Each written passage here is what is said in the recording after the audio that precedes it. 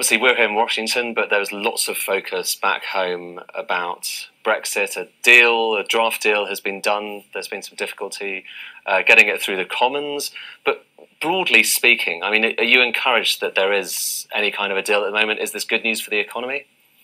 Well, I suppose that it's good that we have a deal and that the EU and the British government and the Irish government have agreed on a deal. It's frustrating that Parliament can't seem to make up its mind on it and hasn't been given a chance really to vote. But in the coming week, let's hope that they do. I think most people probably feel that this has gone on for far too long and just have the view that, you know, just do it.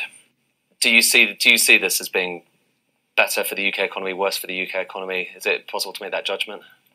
Well, I think it's a mistake to try and map any particular deal into precise numbers about whether it's good or bad for the British economy. My view has always been that a decision to leave the European Union in the long run is not likely to have a major impact on the British economy either way.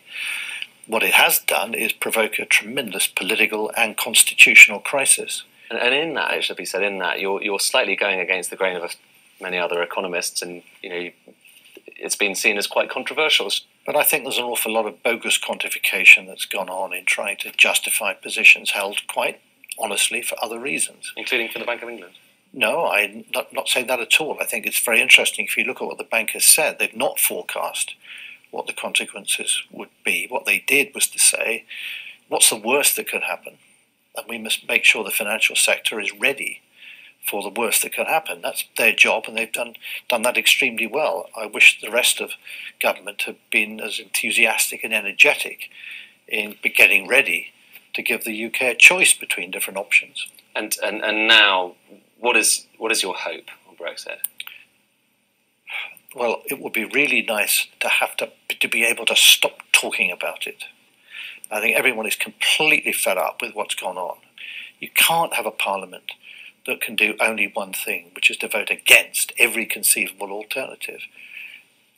I've said before, we need a new parliament, and I think we need an election where it's clear which people believe in Remain and which people believe in leaving, and whichever parties or coalition of parties obtain a majority in that general election will be able to claim that they have both a public mandate and a majority in the House of Commons to pass the legislation needed to pursue that objective, irrespective of whether that's remain or leave. We just have to resolve this now. And I just find it extraordinary that Parliament cannot bring itself together, even today, to have a vote on the principle of the deal, but that they have to, you know, start passing lots more amendments. This is playing games in the mind of the most most of the British people. How do how do you explain it then? because most people in Parliament probably believe in Remain. They also happened to vote for a referendum. Uh, Parliament's brought this on itself. And frankly, the sooner we can get rid of this, the better. Okay. I mean, you know, let's move on to, to what you've been talking about here in Washington, because, you know, that is an issue that, that, that certainly the focus on Brexit in the UK has meant that we're not looking perhaps as much as we might normally do at the global economy. But I think it's worse than that. I think we're not even looking at the underlying economic challenges for the United Kingdom. We have one of the lowest saving rates in the British economy of any country in the G20, save perhaps for Argentina. We're not saving enough to finance our pensions. We're not saving enough to finance care for the elderly. We're not saving enough to finance investment in infrastructure. And we haven't yet worked out how we're going to be able to produce more money for the National Health Service. These are the big challenges. What do we do about the education of 50% of the population who don't go to college or university? These are the issues that will determine our prosperity in the future, not Brexit.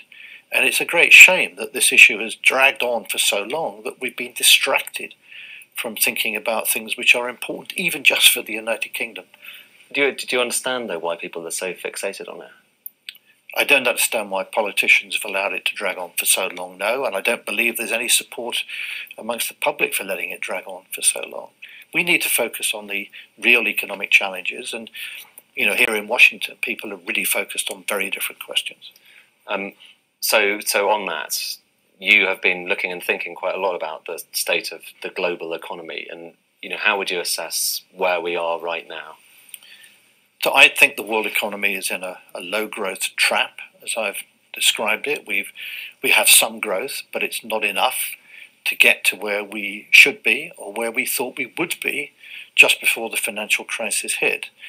That means that we could be even worse off than we were after the Great Depression relative to our expectations. So this was what the, the financial crisis and the aftermath worse than the Great Depression. Well, not in terms of what's happened to unemployment, no, but the economy has grown more slowly for a longer period than it did for the 20 years after the Great Depression. Now, we've got a bit of time left, but unless we grow pretty rapidly over the next, you know, six or seven years, we will find ourselves in a position where we'll be behind where we were uh, after the Great Depression. And that is a pretty dispiriting outcome. Are we heading for another financial crisis? Well, the honest answer is no one knows. But it's quite sobering to realize that the amount of debt in the world economy, even relative to GDP, is higher today than it was at the beginning of 2007. It's higher now. Yes. And people said, how do we get into this crisis? Too much borrowing, too much spending. But we're now in a position where we've got even more borrowing and not enough spending. So the idea that borrowing is going to be the way to regenerate growth in the world economy doesn't seem to me terribly compelling. So how worried are you? Well, I'm not worried that we're going to have a great collapse in the next 12 months, but the point is that we ought to be having aspirations to get GDP back to where we thought it would have been if, if we'd sat having this discussion in 2005 and said, where do we think GDP will be 20 years from now, 2025? Actually, the path we're on is going to be well below where we would have expected in 2005 that we would be able to reach, just based on an extrapolation of past trends. And that was a reasonable expectation. Now, it would require quite dramatically rapid growth, which I think is not feasible, to get to that point.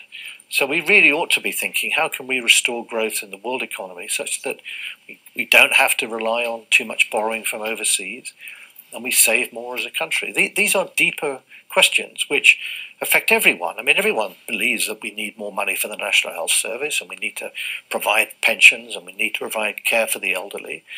Uh, but the question is how we pay for it, and we haven't actually worked this out. Do you, what are the what are the kind of lessons from having actually fought a financial crisis for those who might well have to fight one in the future?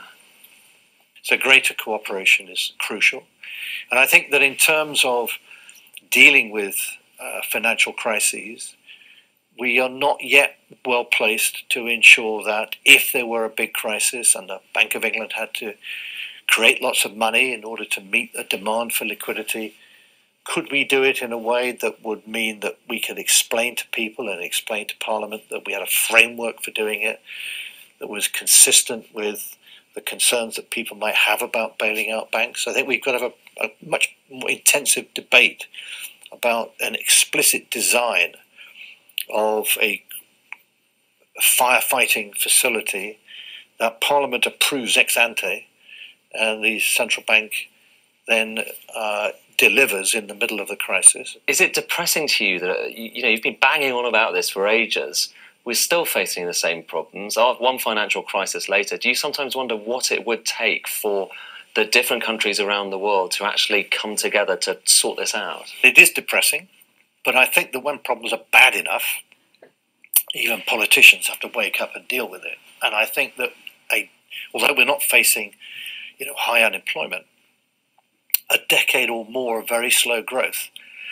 Which is kind of what we're facing. Which is what we're facing, the great stagnation, is what is gradually feeding in to political concern that they can't achieve their own objectives because the money isn't there without faster growth. And I think that just relying on central banks to sort of be active in cutting rates any further, people are beginning to realize now that this can't possibly be the answer. Deep down, we are in a world of extraordinary uncertainty about economic policy, whether it's trade, whether it's what's going to happen in Latin America, population explosion in Africa, the monetary union in Europe, all of these things, there's more uncertainty today than ever before. And these things affect investment right across the world and also in the UK. And so uh, the, the, the outlook sounds a bit scary. Well, one shouldn't exaggerate all this. I think there are there are structural problems. We've had low growth for a decade. I don't want us to have that for another decade. That isn't to say we're facing a crisis next week. We're not. But unless we recognize the nature of the problem of the low growth trap, which is that it's not something that's amenable just to another cut in interest rates. People have to accept that. Politicians need to accept that all the things that they are responsible for play into this. They can't just pass it on to the central bank and say, oh, just cut rates and we'll get growth again.